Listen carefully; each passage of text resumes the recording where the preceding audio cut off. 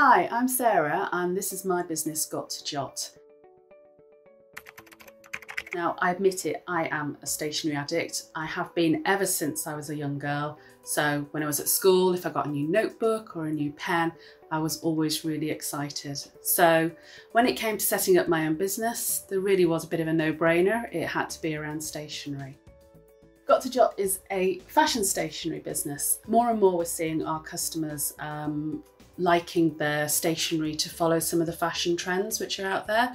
So whether it might be rose gold or monochrome or things like that, things which are trends on the high street in terms of fashion, in terms of your home styling.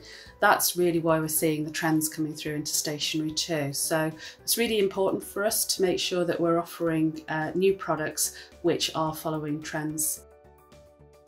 So what we're looking for also for the business is to be supporting other small businesses. So very much the business has grown over the last few years and we're working with a lot of small British designers so that we can bring you new products and new ranges that you won't see on the high street. So it's all about small businesses supporting small businesses. So that's a little bit about Got to Jot. Um, I hope you like it.